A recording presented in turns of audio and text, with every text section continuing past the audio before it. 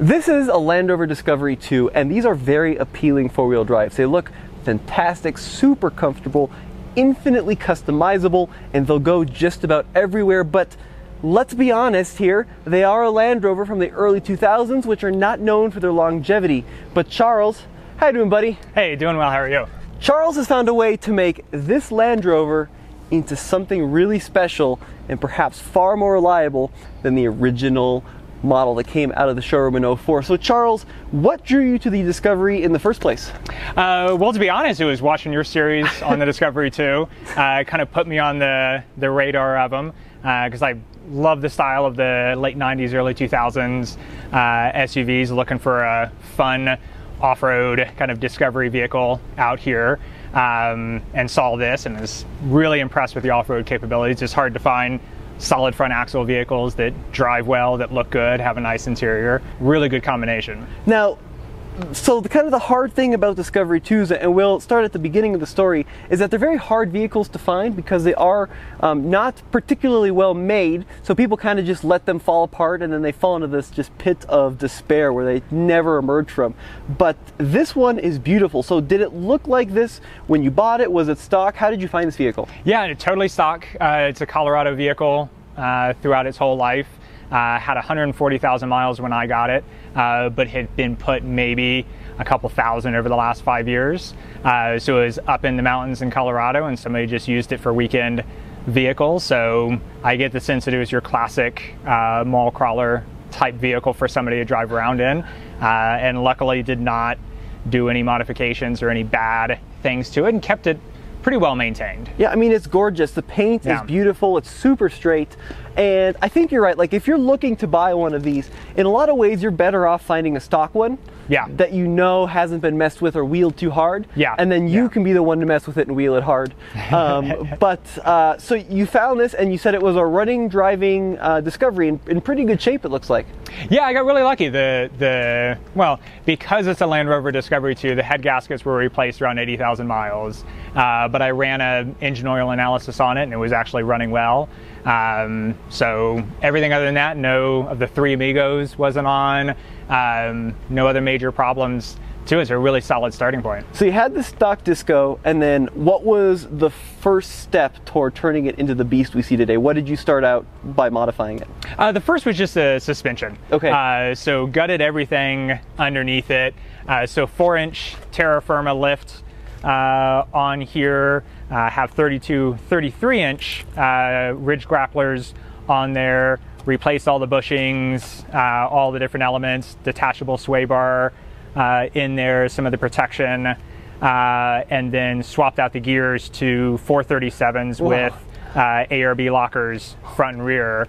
Um, took it out to Moab and it was perfect. It just crawled over everything in there, especially when you lock the center.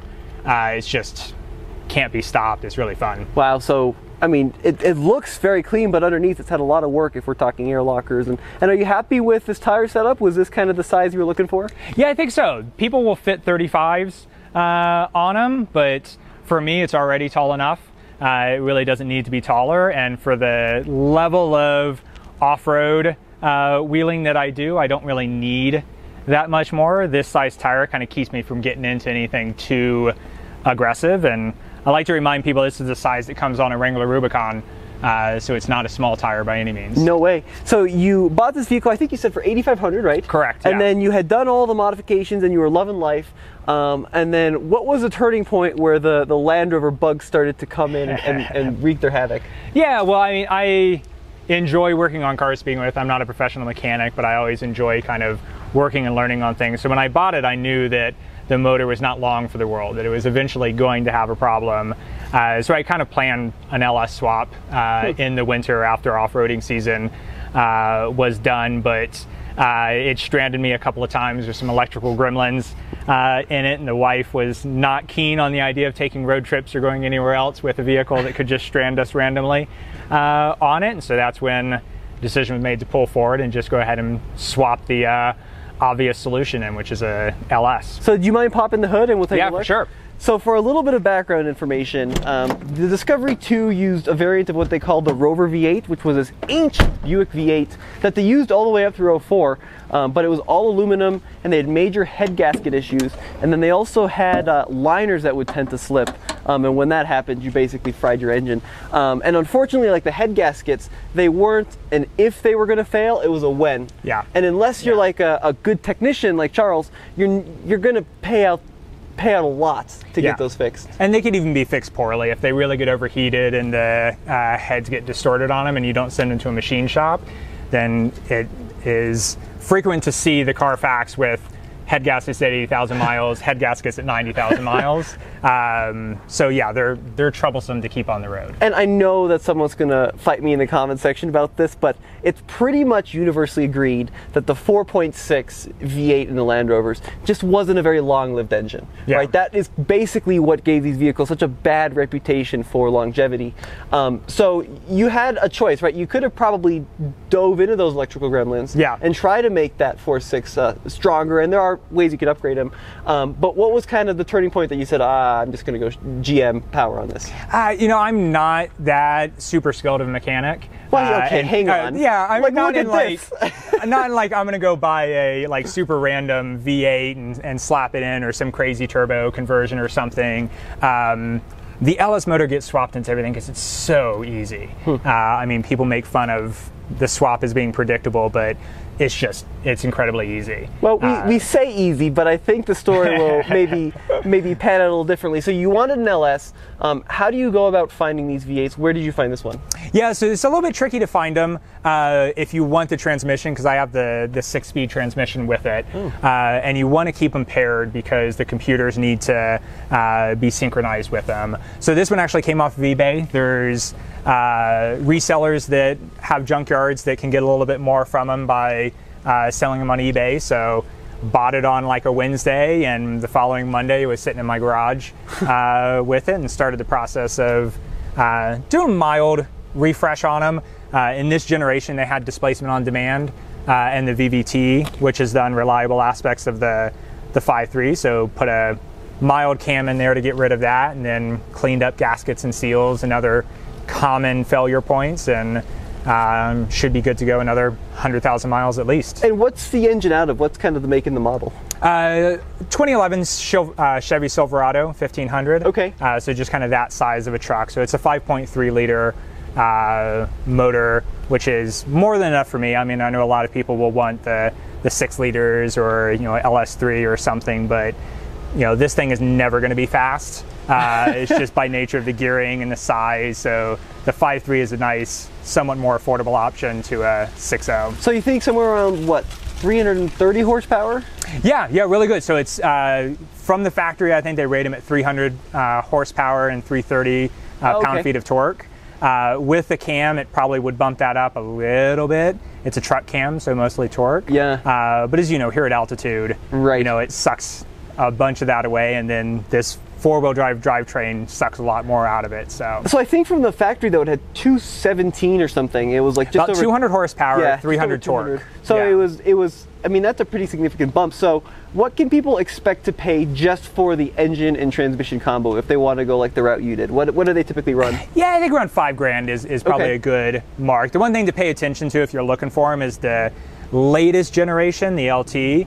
You can find really uh, a lot less, but it's not an LS motor anymore, so all the accessories won't fit on those. So they're starting to sell cheap, and people are making kits for them. But uh, I think the Gen 4 is really the sweet spot of uh, new enough that they're reliable, but also massive aftermarket parts availability. So you yank the 4.6 out. You've Mm-hmm. got this, you know, new shiny engine.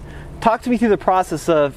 I mean, obviously, it's not just going to bolt in. Who who's doing the conversion kits? How does that process work? Yeah, you know, there's a surprising number of conversion kits available for these. The the hardware kit uh, with the transfer case uh, converter came out of Australia with Marks four-wheel drive uh, for it.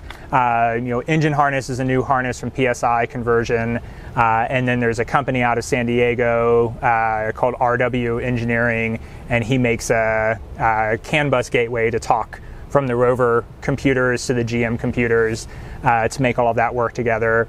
And then beyond that, it's just a lot of uh, internet searching to find the right brackets for the AC and for the power steering and alternators and stuff like that. But um, yeah, I mean, lots and lots of steps in it, uh, but worth So- it in the end, I think. So when I see this, I look at it and I'm like, oh, it's a, it looks like it fits super cleanly and it looks like it was built to be there. From like a, a, a fitment standpoint, was it pretty simple to slide it and get it all connected to the transfer case just from like the bare bones getting this to fit? Yeah, Okay. yeah, it wasn't too bad. I think the scariest thing was we had the whole thing put together, including the transfer case uh, on there. So swinging 750, 800 pounds around to get it in there was tricky. But uh, apart from that, it, it goes in really well. It fits well. Uh, the LS motor is pretty compact. Um, and uh, the only thing is, is a little bit tight with the radiator to uh, engine spacing. So I have to kind of be be cognizant of that. So you see kind of the pipes uh, being pulled back just to keep them out of the, the belts. But uh, yeah, I mean, mechanically, it really wasn't the most challenging uh, fit with the, the kits that come along with it if you uh, have a good degree of kind of mechanical familiarity. Okay, Charles, so in my mind, you got this thing bolted in and then it was just like one connector into the other, fired up, right? Yeah, I mean, basically, that's Yeah, it. You- You, basically. you know it now. um, no, honestly, the, the electrical is the hardest part on these things. There's a lot of little things you have to tap into all over the vehicle. Uh, and then the wiring diagrams uh, were never created with the intent of swapping, they were created with the intent of diagnosing.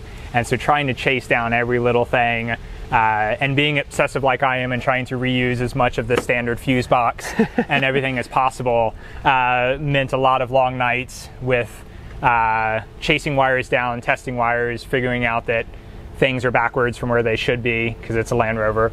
Um, but eventually, it's it's there. Just a lot of persistence. So how many, I don't know if hours is kind of a small number, but how many weekends do you think you have into the, the swap? Yeah, you know, it's funny. I was just talking to my buddy about this, and he was complaining about how I disappeared into a rabbit hole for about three months on this. I uh, originally budgeted probably about seven full days of, of work, is what I expected, but I've probably got closer to 15 or 20 full days Okay. in there just because so many little things crop up that. Uh, you know, get you stuck, and you have to spend a bunch of time troubleshooting and sorting it out. And then when you do the conversion, like is, is the dash freaked out? Is it like, oh my God, there's there's transmissions missing and all of this? No, no. So right now there still is one more uh, wire that we need to track down and uh, feed into it just to let the rover know that it's okay without the the Land Rover transmission. Uh, but apart from that, all the gauges work. All the other stuff. That's the RW Engineering CAN bus is what allows us to connect all those things. So it's yeah. If you if we can get those uh, transmission lights off, you would not notice anything. Right. So I think the original had like the control module for the trans underneath one of the seats.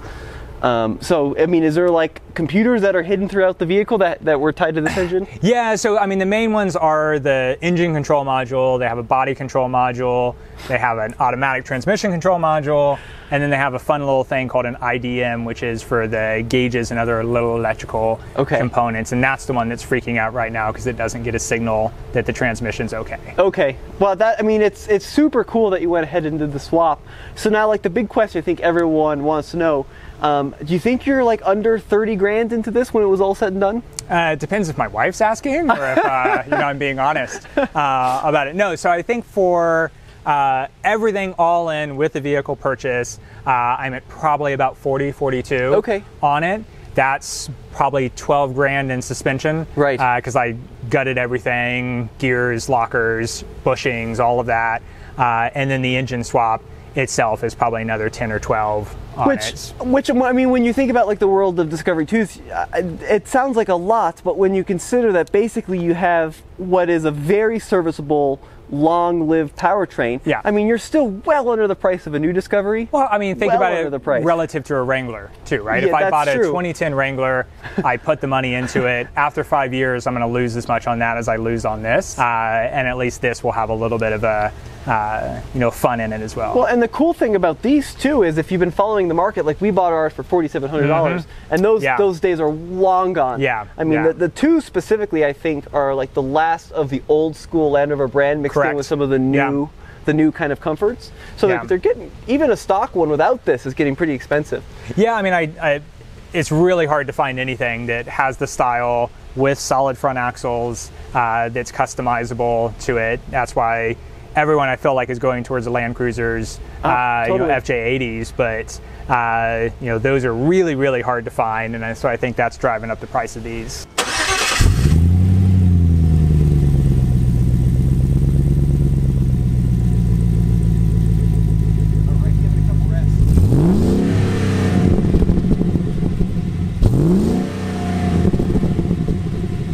So, uh, Alex, you want to open up that interior door over there? Um, Charles, talk to me what you did about the interior because, uh, first of all, it's in beautiful condition. But I'm most impressed that you still have the original selector for the transmission. Yep. Steering column's not butchered. The the gauge cluster's all good. I mean, it looks like a factory vehicle in here. Yeah, yeah, I cheated a little bit there because the leather seats are new. The original ones were torn. I mean, it's 14 years of, of wear. What do you expect? Right. Uh, on there. But apart from that, yeah, I tried my best, like I said, to keep everything looking stock uh, in there. Obviously, the head unit is aftermarket to get the you know CarPlay and off-road maps on there. But apart from that, not too bad. The as you know, the headliners are notorious for sagging, I was looking. It looks pretty good though. it's it's on the edge. Uh, you know, it it'll eventually annoy me enough, but there's so many things to remove to get that headliner out. Uh, it'll probably stay there for a while. okay, videographer Alex, let's if you remember this. Nope, that's clipped in, and then this. Oh no, so that that's one clipped in too. that one is another fun thing about the RW engineering kit is this is actually tap up tap down uh, transmission uh, Oh, for it. So yeah, so going Super down the um, you know the passes out here, be able to shift it down a couple of gears rather than riding the brakes. So you you don't need to use the, the three two one there. You can actually No, so it can three on this is now manual mode, Oh. uh, if you will. So plop it into manual mode and then run the uh, tap up, tap down through that little center Yeah. gauge fit. Does the mode button? Does the mode button do anything? No, okay. no, it doesn't do anything anymore. That was sport mode or manual mode on it uh, originally, but doesn't have any function. Oh man, it's so clean in here. Thank this you. is just beautiful. So Charles, thanks for coming by. Yeah, not a problem. Really appreciate it. He's better at this than I am clearly, and he's way more skilled because he put this together. Um, I, this is a really cool option. I mean, you really, Charles is being very modest, but this is a very, very big undertaking. Like if you want to do this, um, it's not just I think for your typical person. Uh, but if you do have the skill, or you want to pay someone who does have the skill, what you'll end up with is a vehicle that not only looks fantastic, but crazy good off-road and super long lived because those LSs for the most part are pretty good. So what are your plans with this? Is this going to be like a long-term thing? Are you going to hold on to it for a while? Oh yeah, I think I'm gonna hold on to it for quite a while. It's my daily now, but also uh, you know heading out to Steamboat this weekend. Already have plans for Moab trips. Just the ability to take it to all the mountain towns and get on any trail I want to get on for the most part Uh, is going to be great. That's awesome. Well, big thank you to Charles for uh, for showing us his rig. Big thank you to you guys for uh, tuning in, and we'll see you guys on the next video. Maybe we'll get Charles to uh, come out to a trail with us. I think that'd be a really fun thing.